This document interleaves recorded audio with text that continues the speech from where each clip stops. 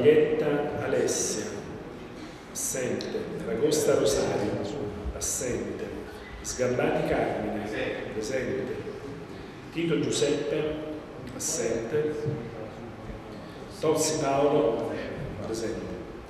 Presidente, sono presenti 12 e assenti 13. Presenti 12 e assenti 13.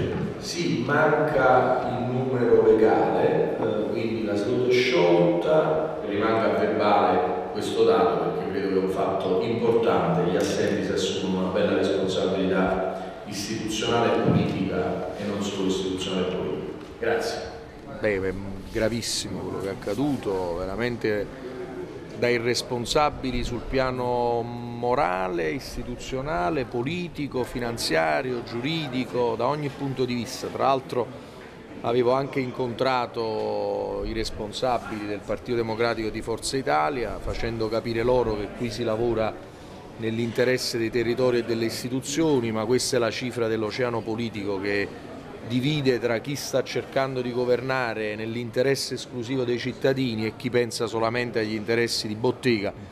Tanto è vero che hanno buttato a mare 16 milioni di opere, di lavori per scuole, strade, di tutti i comuni della città metropolitana. È veramente un atto irresponsabile. Noi andiamo avanti per la nostra strada nella consapevolezza che bisogna ancora fare un grande lavoro nei comuni della città metropolitana per cambiare completamente la politica dei nostri territori, altrimenti questi continueranno a fare i loro interessi e i cittadini ne soffriranno. Saremo noi che cercheremo adesso di porre rimedio nel modo che siamo capaci di fare, perché noi i cittadini e i territori non li lasciamo soli, a differenza loro. Noi ci mettiamo al lavoro cercando di recuperare questi soldi, però insomma ci rendiamo conto di che stiamo parlando. Questa è la gente che poi ci ha lasciato il dissesto finanziario al Comune di Napoli, che quando governava la provincia di Napoli ci ha lasciato buchi dappertutto. Cioè, questa, questa, è la politica che abbiamo purtroppo ereditato e che stiamo cercando di cambiare. Questi invece pensano qua di fare i giochetti della vecchia politica. Io a questo punto ogni minuto racconteremo ai cittadini quello che stanno facendo. Cioè, io passeremo i prossimi giorni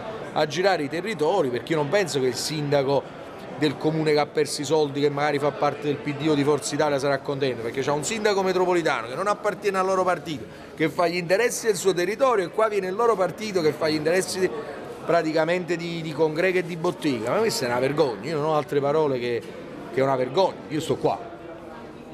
Costruisco ponti di pace, dicevano certe volte i beati costruttori di pace. Se c'è un segnale noi lo raccogliamo, ma io più segnali di questi non vedo che altro posso fare. Sono andato là dentro e ho detto Vediamoci, vediamoci lunedì, discutiamo insieme, lavoriamo insieme, ragioniamo insieme, non c'è maggioranza, c'è un luogo che può essere la conferenza di capigruppo in cui si decide insieme, tutti seduti allo stesso tavolo, le deleghe non sono strumenti di governo ma sono strumenti operativi, io veramente non so più che fare.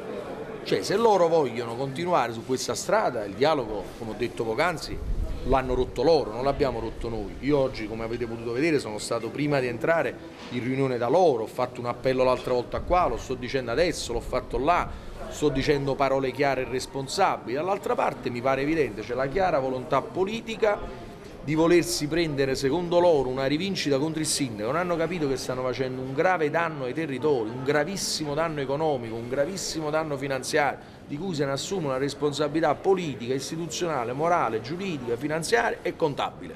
Se ne assumono loro la responsabilità, noi andiamo avanti per la nostra strada. Tanto la rivoluzione non si arresta, mica per, per due capi bastone si ferma la rivoluzione, anzi siamo ancora più motivati.